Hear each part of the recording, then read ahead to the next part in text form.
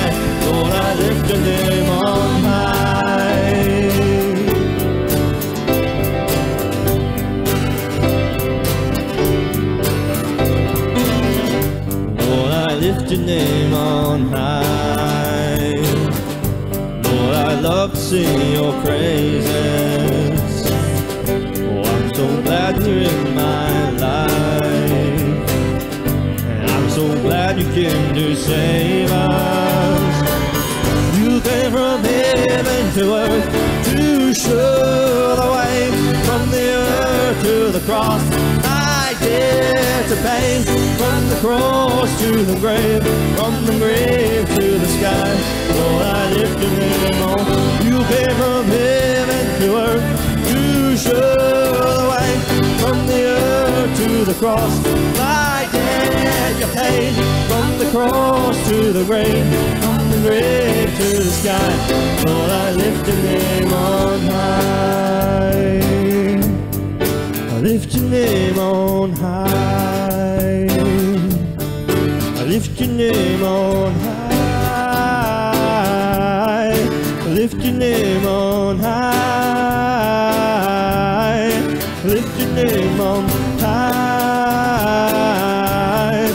lift your name on high. Lift your name on high.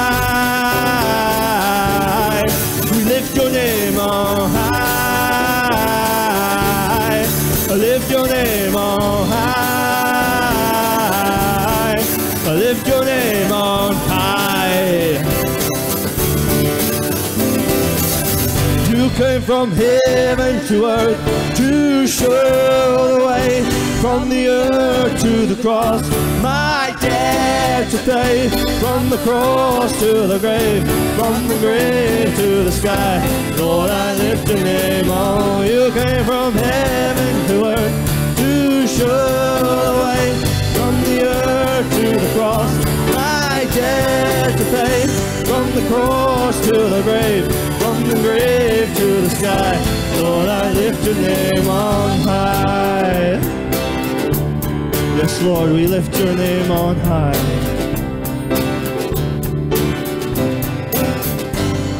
We praise you, Jesus. He's so good. The Bible says he did not consider equality with God something to be grasped, but he humbled himself to the place on the cross for us. And I don't know about you, but I want to know him more. He invites us to abide in him, and he said he would abide in us.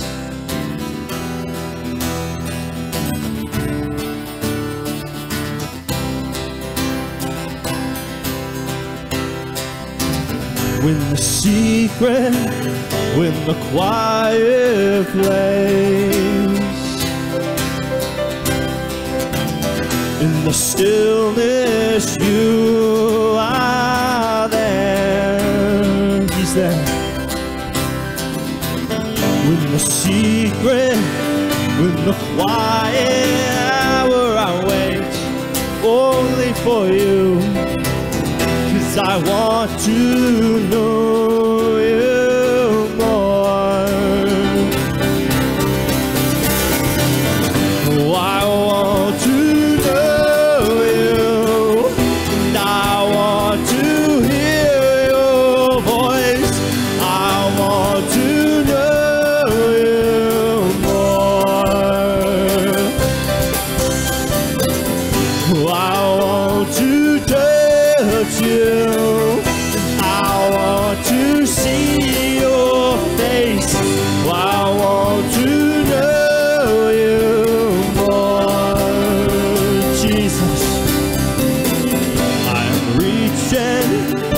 the highest goal. That I might receive the prize. Pressing onward, pushing every hindrance aside. Well, on my way.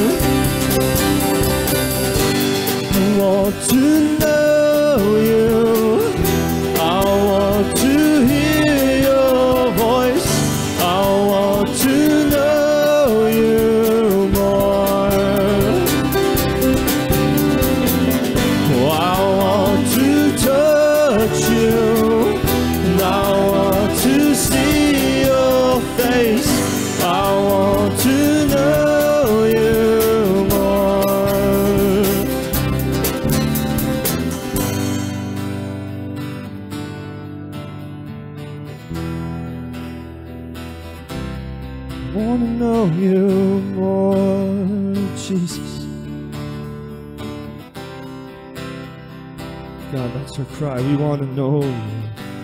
We want to abide in you, in you and us, Lord.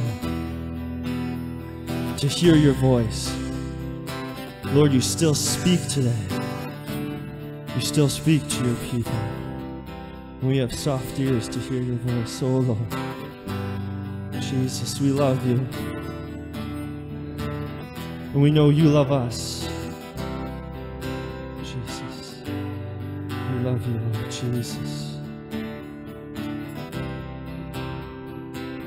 Just say to him, I want to know you. Lord, I want to hear your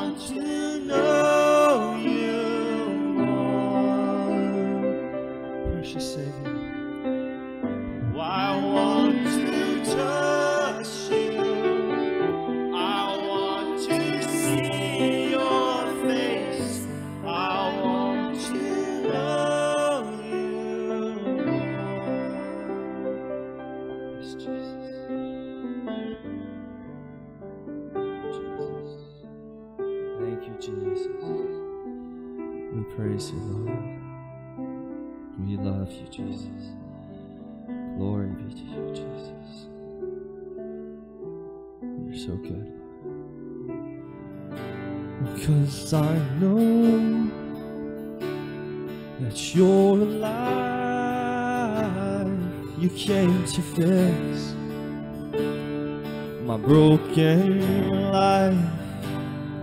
And I sing to glorify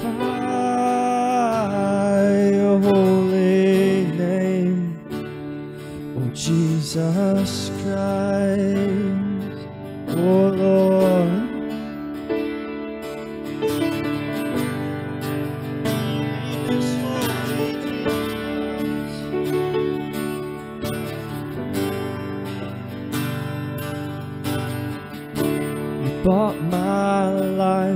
with the blood that you shed on the cross when you died for the sins of man and you let out a cry crucified now alive in me Hallelujah.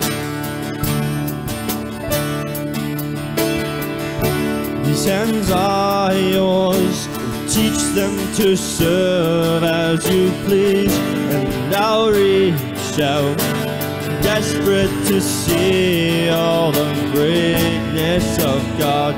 May my soul rest assured in you.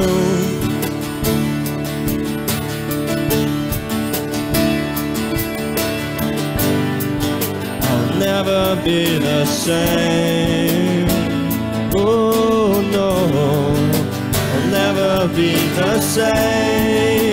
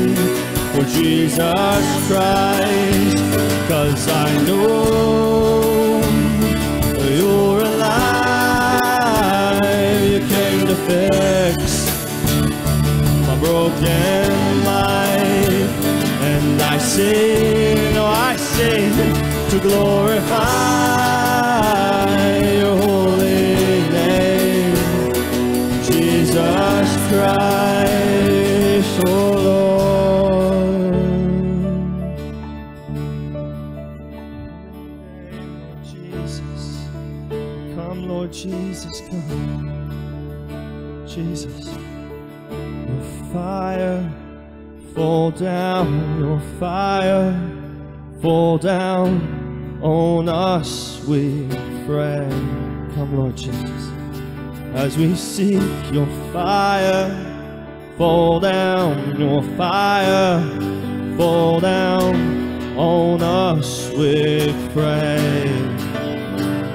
Oh, as we seek your fire, fall down your fire, fall down on us, we pray. Oh Lord, we desire as we seek your fire, fall down your fire, fall down on us, we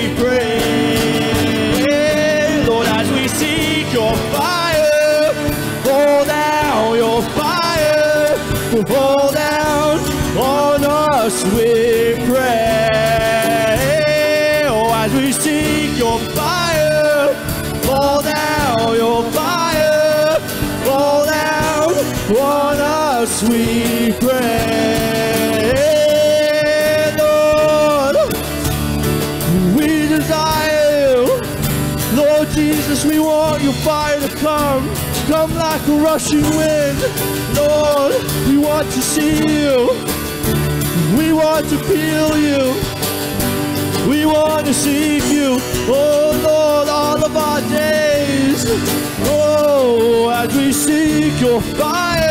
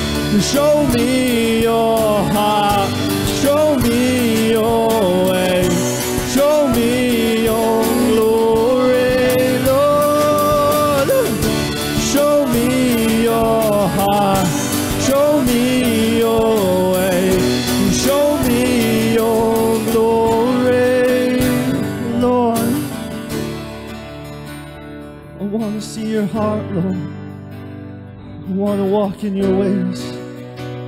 I want to see your glory, Lord, just like Moses said. I want to see you, Lord, your glory.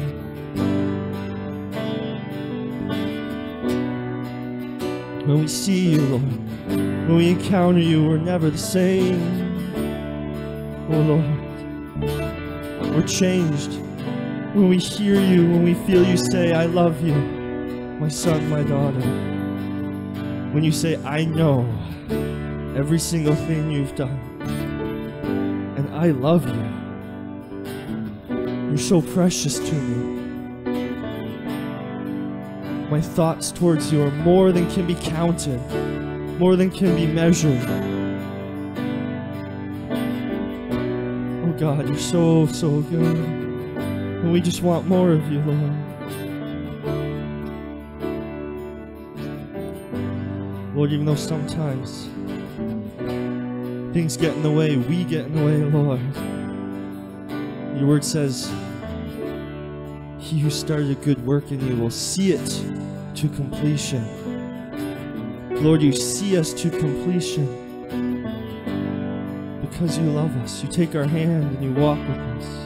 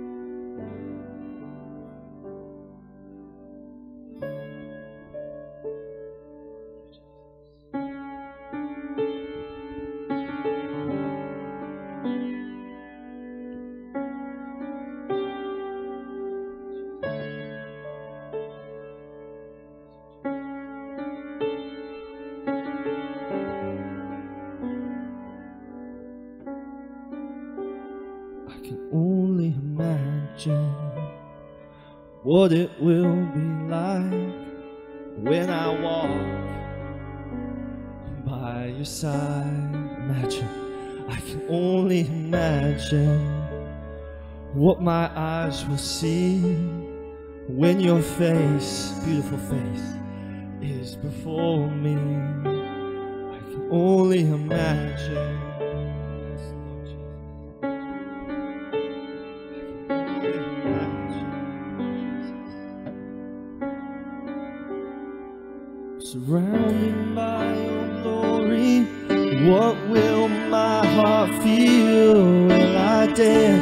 For you, Jesus? Or not you be still? Will I stand in your presence? Or to my knees will I fall? Will I sing hallelujah? Will I be able to speak it all? I can only imagine. I can only imagine.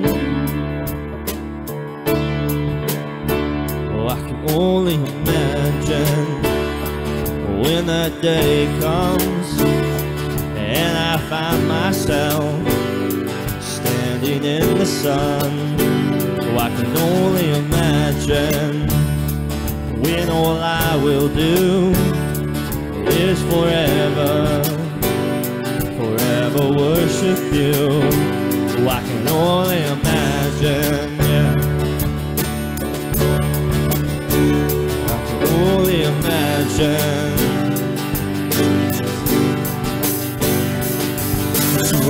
Surrounded by your glory, what will my heart feel? Will I dance for you, Jesus? Or not you be still? And I stand in your presence. To my knees will I fall? Will I sing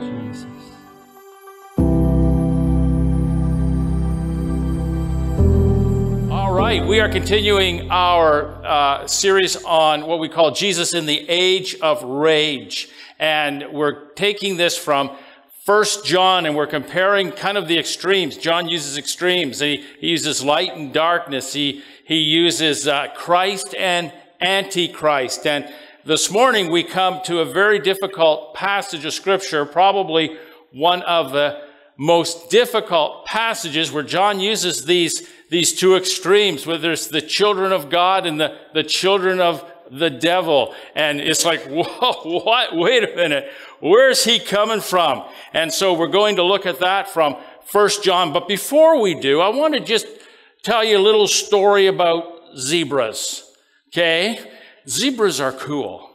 And when we were in Uganda, we came upon a herd of zebras and they, they run in a herd and there's a, a herd of, of, zebras right there, and uh, they are they are so different, and yet they are so similar to horses. The thing with zebras is like they all look the same. I, I mean, they're black and white.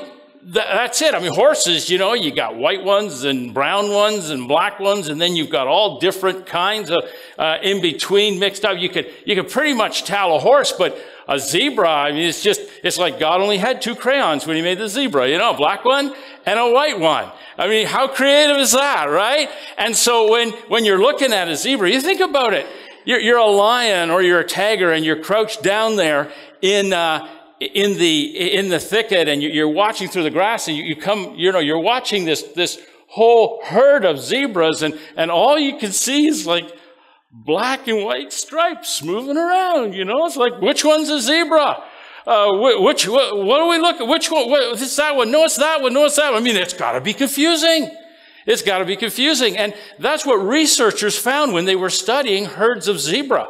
They were, they were watching these zebra and they were like, oh, I can't tell which one we were watching just five minutes ago. Was it that one over there or that one over there? They, they couldn't tell the difference. So, so the researchers who were researching zebras and they, they wanted to find out the, the habits of zebras, they thought, we got to tell these guys apart. And so they got a can of paint, you know, and they painted a big, a big circle on, on the side of this zebra. And, or they, they got really sophisticated and they put one of those great big yellow tags in its ear so they could tell them apart. And they thought, there, this is better. Now we, now we can distinguish our, our test subject, our zebra, from the rest of the herd. But they found something out quite quickly was the zebra that they marked was the zebra that was killed and eaten by the predators. Yeah. And, and so every time they marked a zebra, it got killed and eaten. And they realized that the lions and the tigers and, and the predators aren't picking off the ones at the back of the herd that are sick because they're at the back of the herd and the sick. They found out that they were picking those ones off because they could distinguish them. They stood out from the rest of them. That's the only way that they could, they could catch themselves a zebra. And psychologists got a hold of this and they thought, hey, uh, humans are kind of like that too. I mean, we don't say, well, we're, we're together as a herd, but we use another word. We use the word tribe, don't we? And, and, and when you're in a certain tribe, so there's the doctor tribe. I mean, doctors have their own tribe. And, and you know it's your own tribe because they have their own language, right? And they have their own ideas and they have their own learning and they have their own their own college of physicians and they have to meet their own standards. And so doctors are all in their own tribe, but we, we know from history that when a doctor starts to do things differently in history, they were marked in that tribe and they were oftentimes attacked. So if a doctor did something differently, like suggested that before I operate on you, I should wash my hands. It's true. They were like, this doctor's crazy. He's not one of us. Or we should sterilize our instruments. Why would you need to do that? Pfft. What a crazy doctor. And it, it, took time for these guys because they stood out. And so people in churches even stand out. You know, you go to some churches and this is the way you dress and this is the way you behave. And other churches is, well, this is how you think and this is what you say and this is when you stand. and This is when you sit down. And you know you're not a part of the tribe. Because when, when, they, when everybody stands, you're still sitting down. And when everybody sits down, you're still standing up. You don't know what to do. And, and so you know, you, what? You stick out, right? You stand out. And in the age of rage, here's what's happening, is that people are becoming so polarized and so far apart uh, that, that people stand out and they're often, they're often attacked. They're often maligned. Uh, they're often marginalized by people on the other side. We see it all the time in, on TV. We see it all the time on social media. You hear it all the time, even in people's conversations. And in Canada, there is, there is this increase of intolerance even against people who believe in the Lord, even in churches. It was last summer, over 50 churches were burned down. Christians are continually maligned in Western legacy media. And so the question today that, that John confronts us with is how do we be the children of God? How do we live out our faith in a hostile world? How do we conduct ourselves in public when there's so much intolerance? And how do we relate to other people in our culture when we live in what we call today a, a canceled culture? And so John's going to, to make this distinction and there's some difficult scriptures here that Christians really struggle with. They struggle with the teaching here, and so we're going to walk through that. But my sermon in a sentence is this that we counter the hate, hatred in the world with love, faith, purity, generosity, and hope. Let those be the things that mark us. Let those things be the things that cause us to stand out in this world. Let's look at the distinguishing marks of the child of God. First John chapter 3 verses 1 to 3. It says this, See what great love the Father has lavished on us. Every time I read that word lavished, I think of peanut butter and the thickness that I put on a piece of bread. I lavish it. All right. This is how much God loved us. He lavished his love on us that we should be called children of God. And that is what we are. The reason the world does not know us is that it did not know him.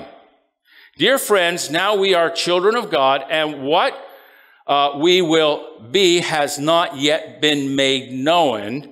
But we know that when Christ appears, we shall be like him. Wasn't that great? I wanted that song, Only Imagine. I wanted them to put it at the end because this just relates to this scripture, right? We really don't know. We can only imagine what we will be, but we do know we will be like Jesus when he appears. For we shall see him as he is. All who have this hope in him purify themselves just as he is pure. Now, the verses we're looking at today in 1 John are among the most difficult to understand in the New Testament, especially if we just pluck them out of where they are and don't read them within the scope of the, of the whole New Testament. However, there's important theology that we need to understand in order to really understand what John is saying here. And some of the things that John is saying here is, is when we come to this word child of God, no one is born a child of God. See, because John is making a distinction. We are the children of God, and they are not the children of God. So no one is born a child of God. We become God's children through our faith and through the love that God has lavished upon us. Now, there's a, not a lot of people that actually believe that. Most people believe, and in the world you'll hear it, people will say, well, we're all children of God. Everybody's a child of God. And there are many people in the church that believe that as well. Well, everybody's a child of God. But, but this is not what the Bible teaches about the children of God. All people are created and created equally before God. But being called a child of God shows there is a distinct relationship between you and God, between you and Jesus. There is a distinct relationship. And in fact, John points that out and says, you know, they don't know who you are because they don't know who he is.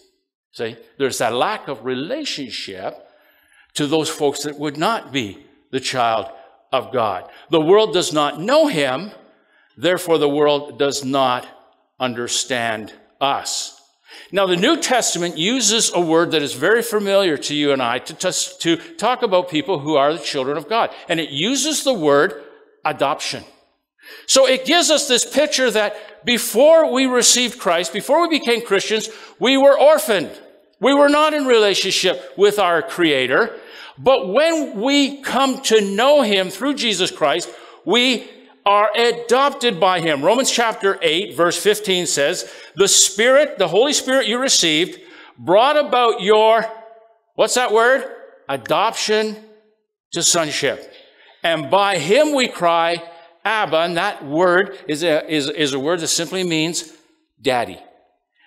By him we cry out, Daddy God. There's another verse that John uses in, in his gospel, the Gospel of John, the very first chapter of the Gospel of John.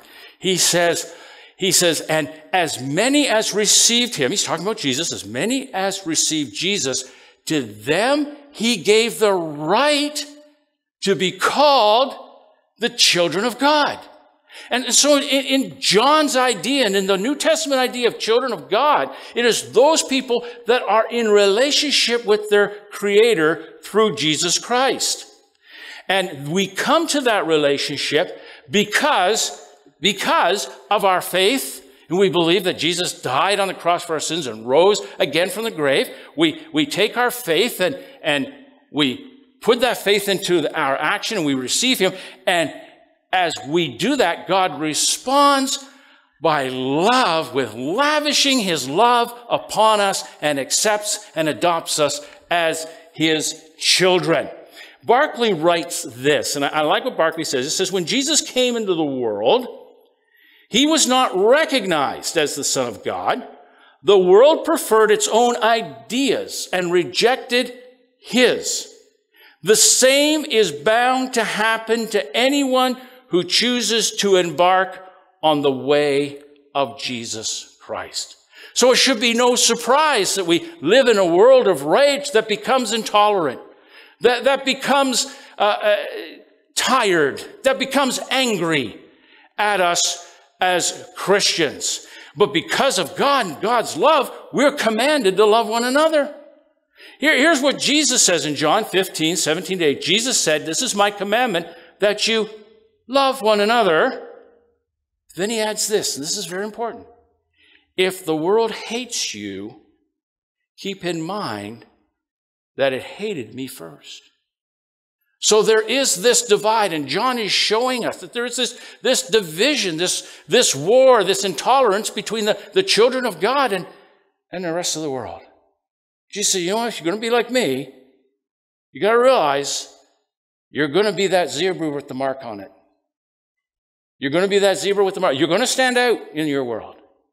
And they didn't like me much, and they're not going to like you much either. Being a child of God means, uh, again, it, it means more than having your sins forgiven. But it means we live a life of purity. 1 John chapter 2 verse 29 if you know that he is righteous you know that everyone who does what is right has been born of him. So being a child of God is, is living a life of moral integrity and purity. It's being like Jesus. Again, John says in John, uh, 1 John 3 and 3 says this, all who have this hope in him purify themselves just as he is pure. So forgiveness is God's reaction to his love. We have nothing to do with God's forgiveness. That's a reaction of God to his love. So that is your, your salvation does not produce forgiveness, it produces purity and fruit. In other words, a mark of somebody who is a child of God is a transformed and changed life.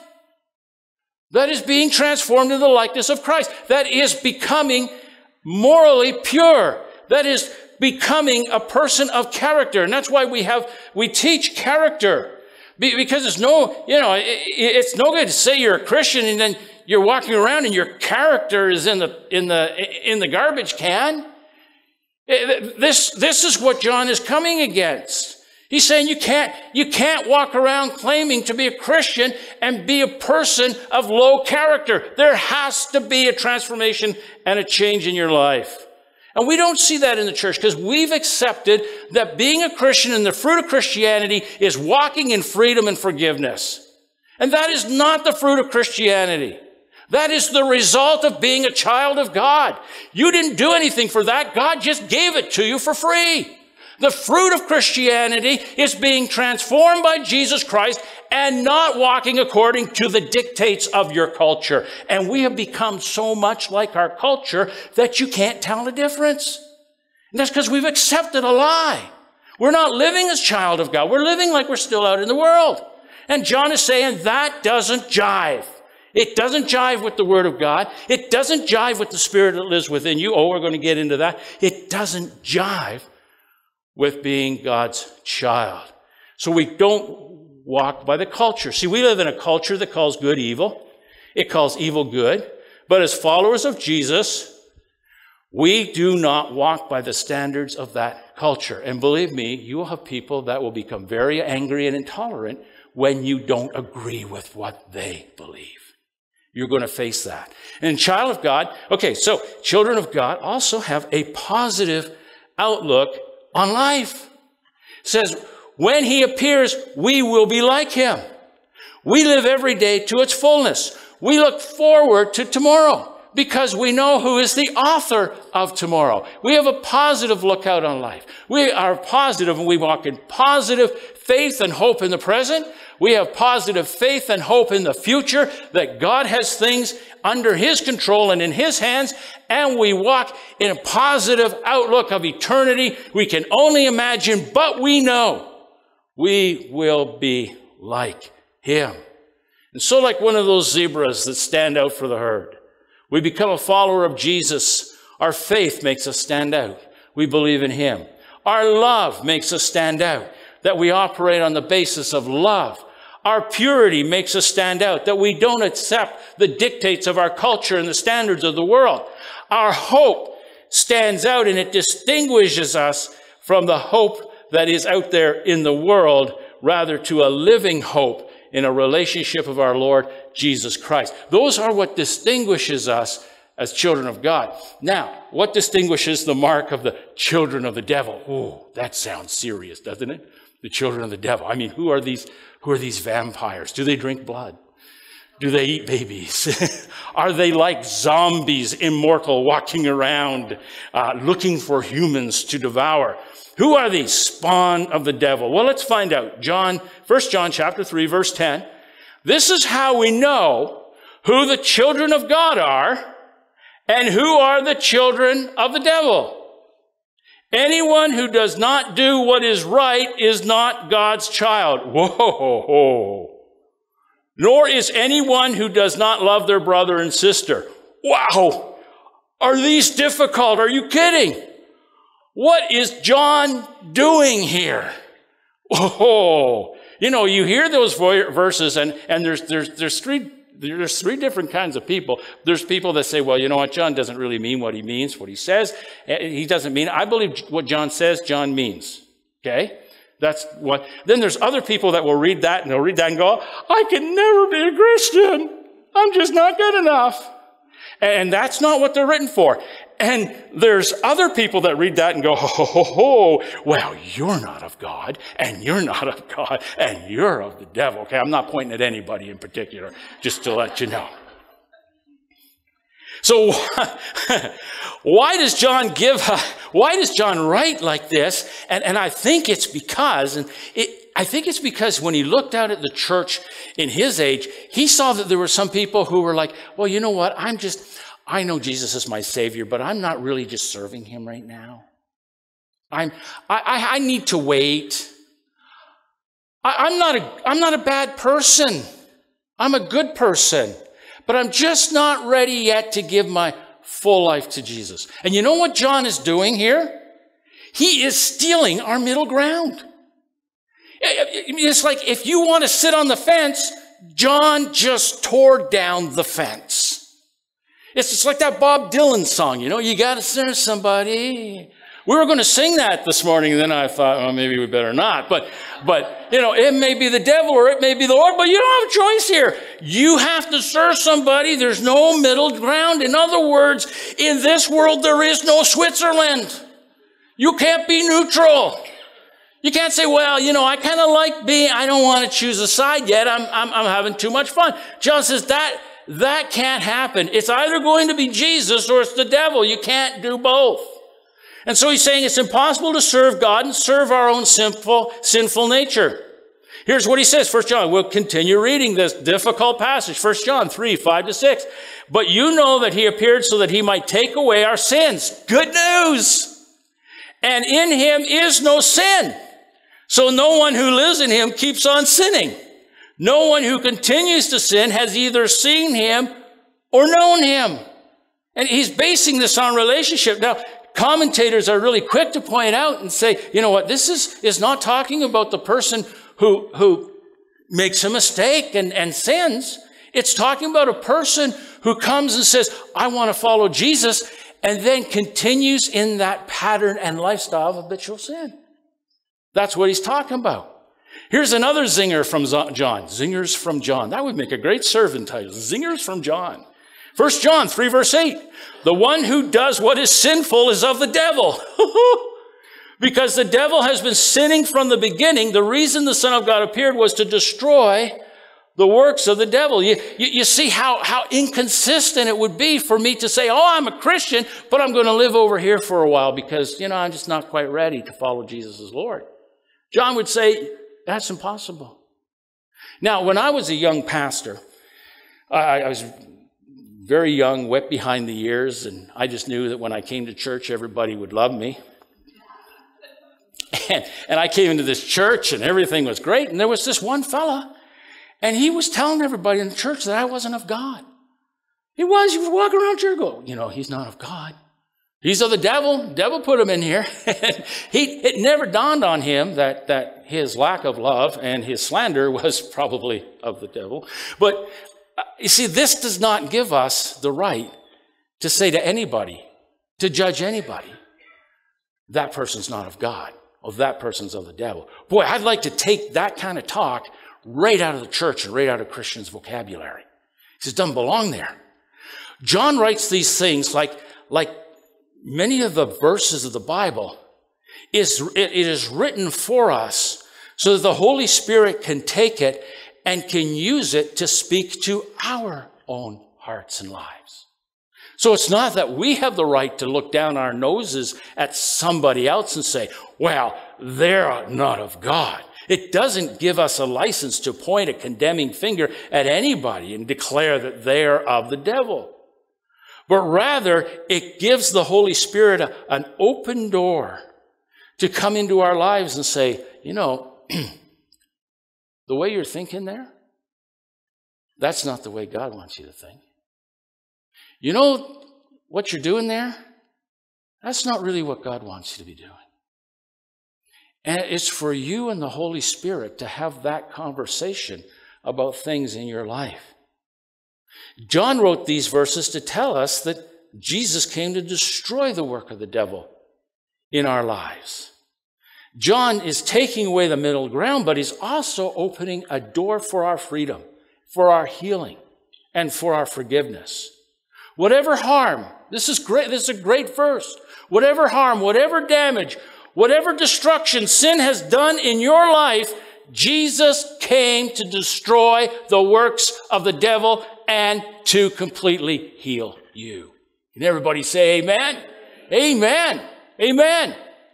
And so John says this in 1 John chapter 8, verse 8 to 9. If we claim to be without sin, we deceive ourselves. The truth is not in us. We, have got to come to that point where, hey, you know what? We make mistakes every day.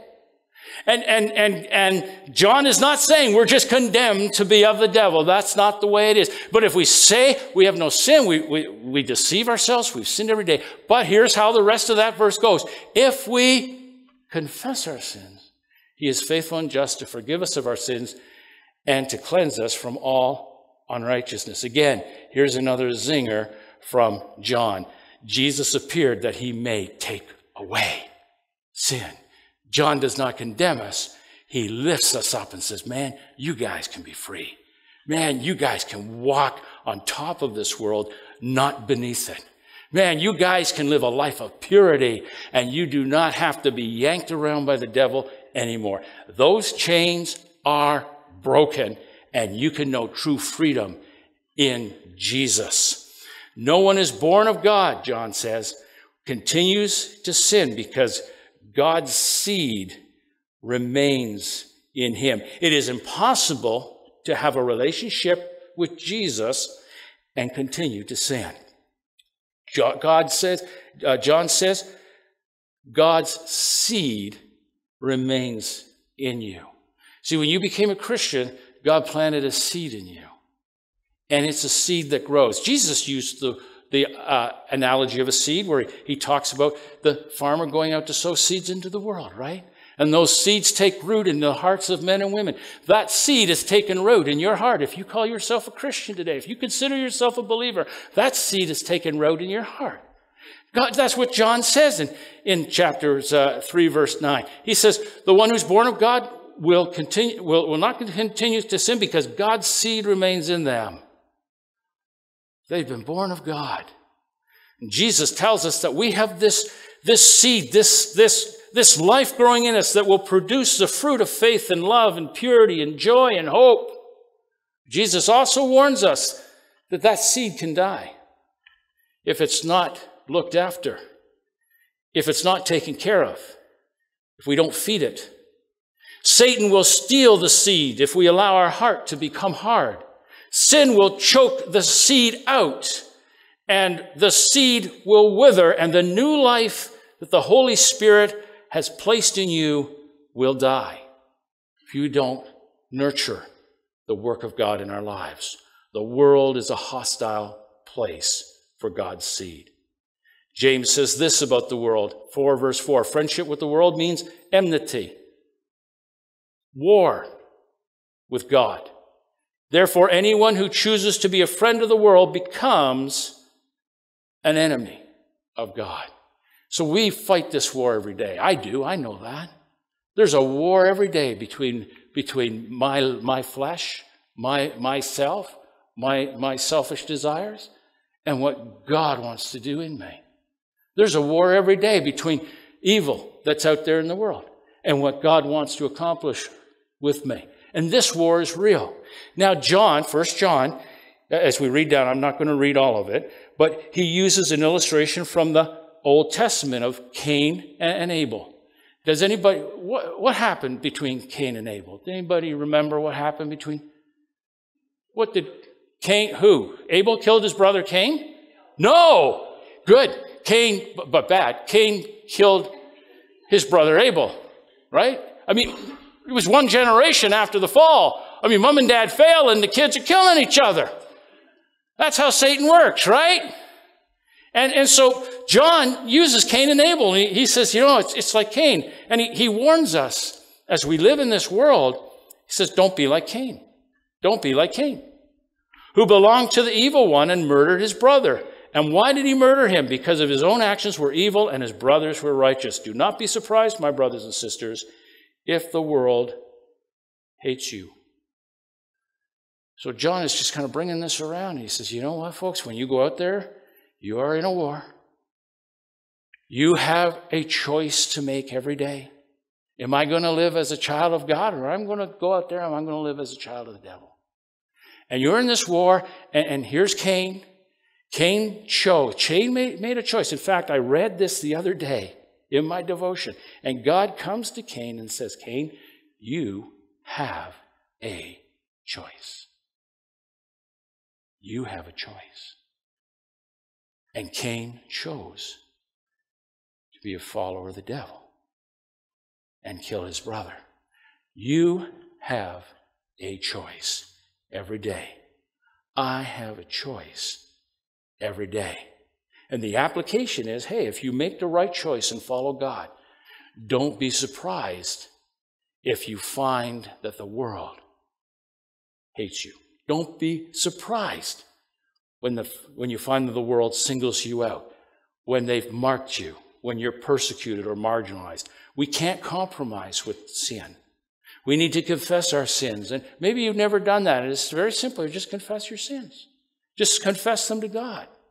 We need to repent. That means to just turn away. And when we do, when we do that, God responds to that with forgiveness. And then the Lord leads us and He becomes the boss of our lives. Today I choose.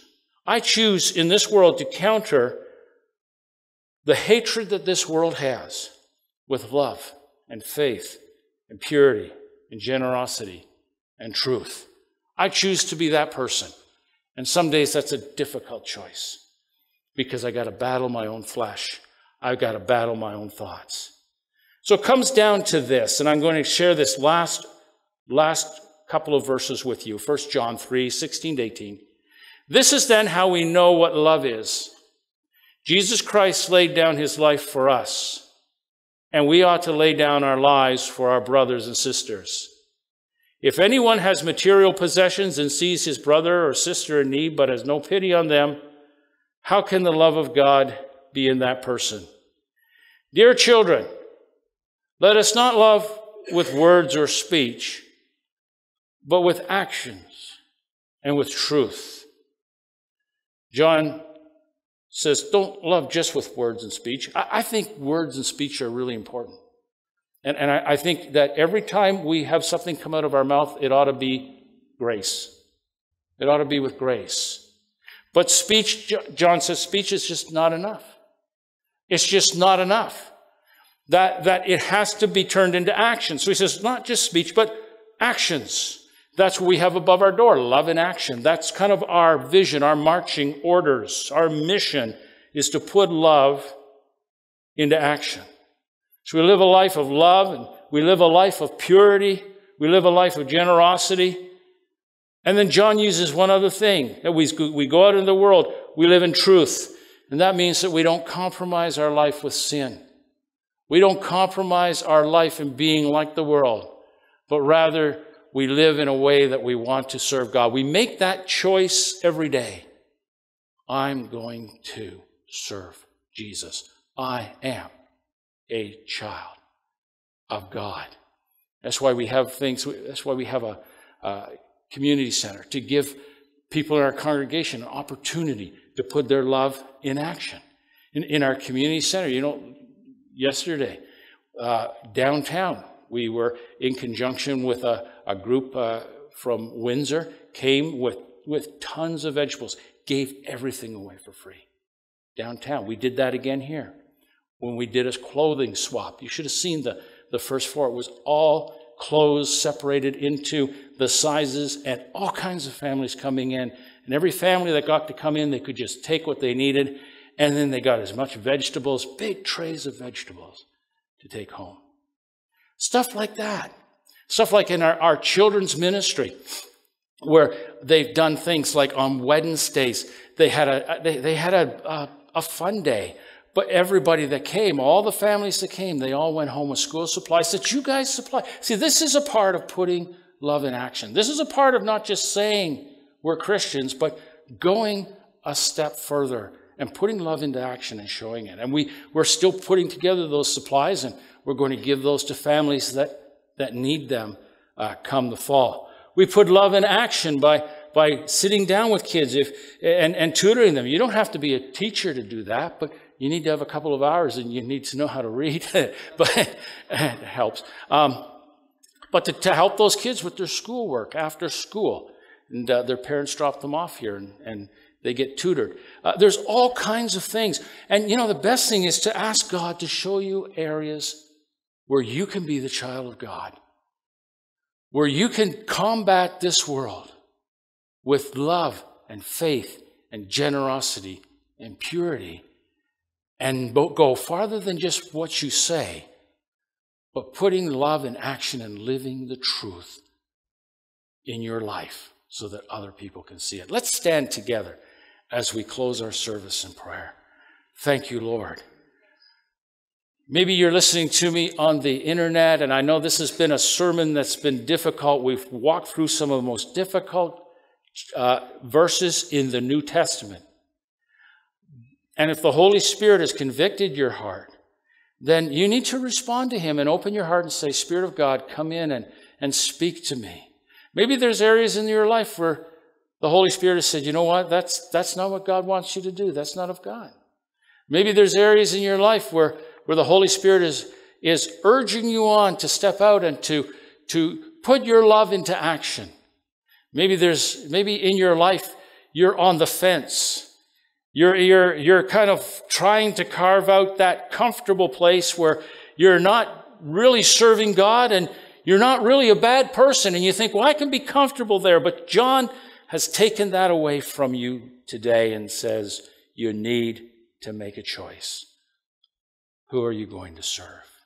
Maybe you're in a difficult situation right now, and it is a battle every day to be that person who is loving, to, to walk as that person in faith, to walk in that person that is showing generosity and kindness.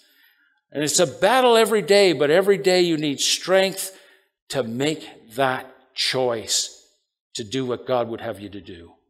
And I want to pray for you today that God would minister to you, that the Holy Spirit of God would strengthen you, and that you would make the choice that you are a child of God, that you would receive Jesus and ask Him to come into your lives and just proclaim it to Him. I am your son. I am your daughter. I am yours, Lord. I am your child. You are my Lord. In Jesus' name, amen.